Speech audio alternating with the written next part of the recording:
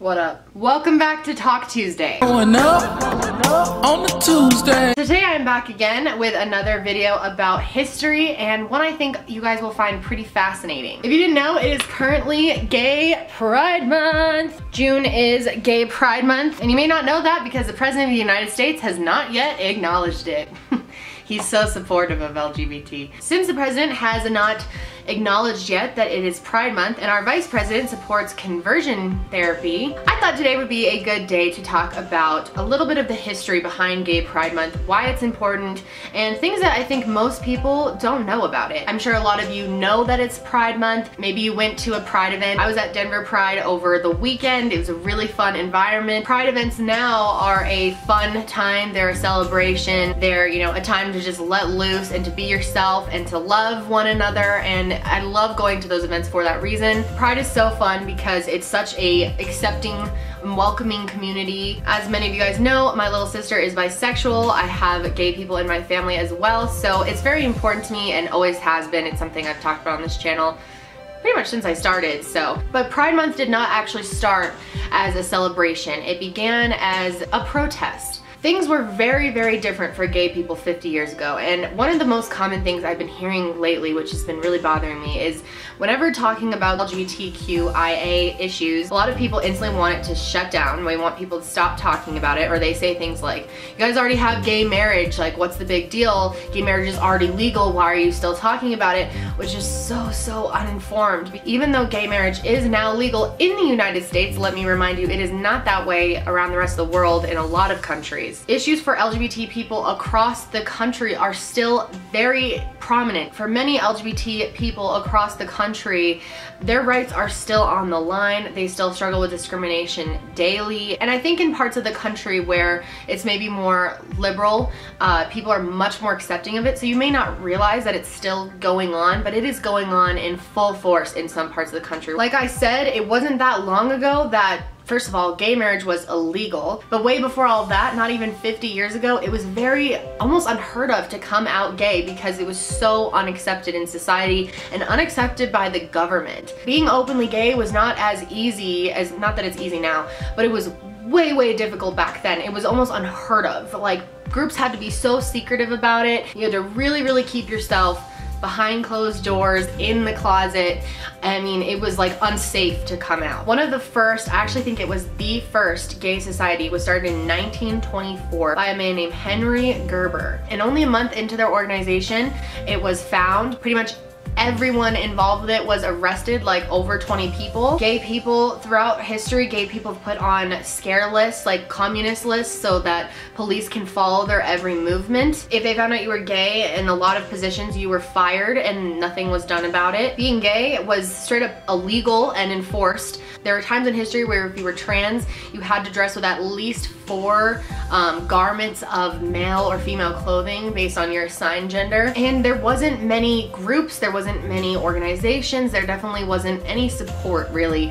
And even being able to protest was a very uh, rare thing. In fact, in 1965, there was a protest group that tried to form and were quickly shut down by the police. There's obviously so many other things that have happened, but one of the worst was that the APA, which is the American Psychiatric Association, um, they decided that being gay was going to be a mental illness. And it was actually a registered mental illness until I think 1973. And one of the craziest things about it is the scientists who had determined this ran a study on gay people who also had mental illness and then determined that all gay people had mental illness because of all their test subjects happened to be mentally ill. In the 60s, it was straight up illegal to be gay, to dance with a man, to, especially not to have sex with the opposite gender. The government was really cracking down on gay people. They weren't even allowed to be served drinks at bars. It was illegal for bars to serve drinks to gay people. They were trying to clean up the city of New York um, by locking people up, getting rid of people, beating people. I mean, so many terrible things happened to gay people back then. It's really amazing how far we've come. I mean, we have a long way to go, but it is, it's almost a different world. We still have a long way to go with that as well, but I think it's important to recognize the steps that we have made see how we got there and see how we can continue to go further. So like I said, they wouldn't allow bars to have a liquor license if they were disorderly and serving gay people or having gay and trans people in your bar was considered to be disorderly. But that brings us to the point of this whole video and that is the Stonewall riot. June 28th of 1969, um, there was a bar called the Stonewall Inn and this was in Manhattan and this was actually a sort of a gay club in downtown Manhattan and yes it technically couldn't be considered a gay club but it was and the reason why is the mafia was actually running this bar and a lot of the mob was running bars. Um, it was very common. There was so much mob corruption back then I mean, it's very different than what we can even understand now. But there was a mob group that was running this bar and they were allowing gay people to be in there because they didn't care. All they cared about was money. And what they could do was blackmail people who went into the bar as a gay person and was, you know, straight in real life and use it against them for money. They're illegally bringing in tons of money and they're paying off the police.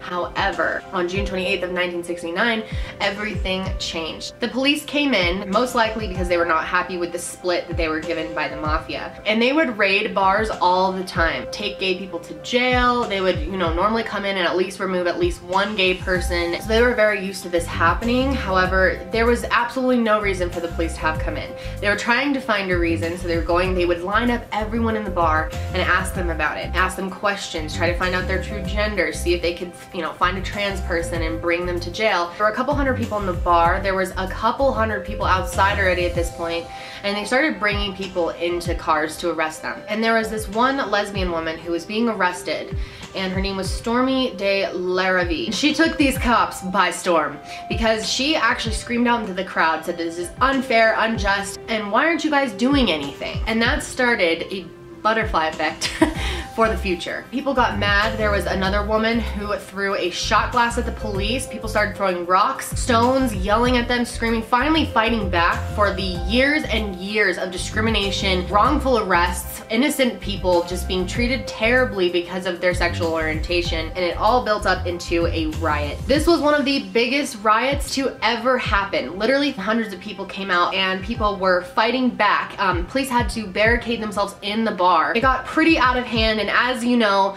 I'm really a person who's very against violence. I think this had to happen at the time to be able to start any type of movement to get people to join together, and it did. There were fires being made, windows broken. Luckily, no one died, which was good. But this definitely became a full-blown riot. There is a famous group of trans people that stood on the side of the street and started a kick line and actually were, you know, saying things that really upset the police, talking about pubic hair and, uh, you know, just the freedom to be yourself and be who you are authentically without any apologies. And it really freaked out the police. They were fighting back, beating people. This is when the police actually brought out batons and beat people in the streets. The rioting continued actually. It started up again the following night and I think the night after as well. And it brought a ton of gay people together against a common enemy and that is discrimination. And what was really cool about the Stonewall riots is after that, there were a couple different groups that actually started putting gay in their titles,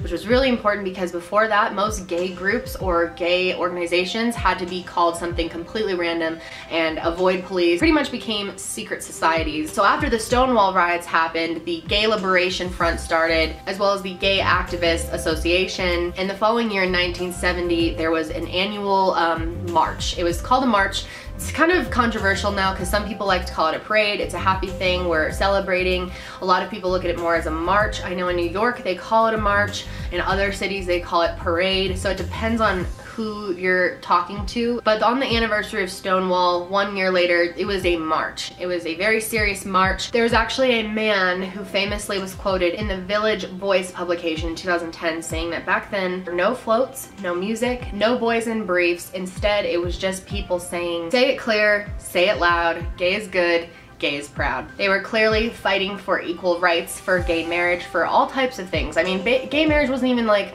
on the agenda back then because it was so far, they, they were still trying to stay out of jail.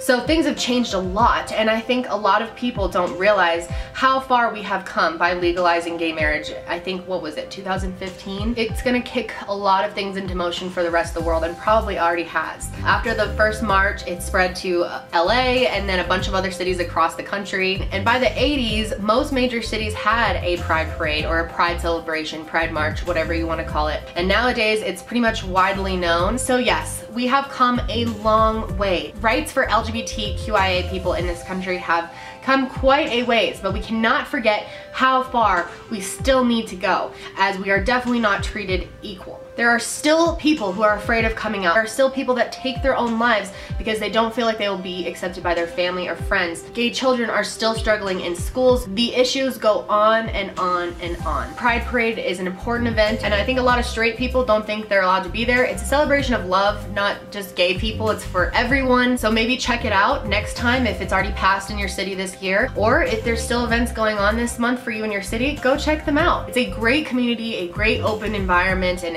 accepting people. You're definitely never gonna find more accepting people than at a Pride festival. Even though they're fun and entertaining and a great accepting environment, it's still a reminder of how far we need to go and that we should never stop fighting for our gay brothers and sisters to have equal rights. So I hope you guys enjoyed this video. Hope you enjoyed learning about the meaning behind Pride Month and how far we have come and you know, it's really disappointing to have a president who has not even acknowledged this month at all. I mean, it's not over yet, so I still have hope that maybe he will, but I feel doubtful. It's disappointing because I remember in the beginning of the election, a lot of people were telling me, no, no, Donald Trump supports LGBT people. I would use the word doesn't care. Maybe he himself is not gonna actively try to do anything to discriminate against them or take their rights, but he certainly is not doing anything for them or showing any type of care. In fact, there were laws reversed this year for bathroom rights for trans people under the Trump administration. So I think that that is a load of BS and we have to be louder than ever at a time when our LGBT friends don't have much of a voice in the White House to represent them. But anyway guys, I hope you enjoyed this video. If you were enjoying these history videos, be sure to give this video a thumbs up. Learning is fun. And that's it for me today guys. I hope you're having a great day and I will see you next time.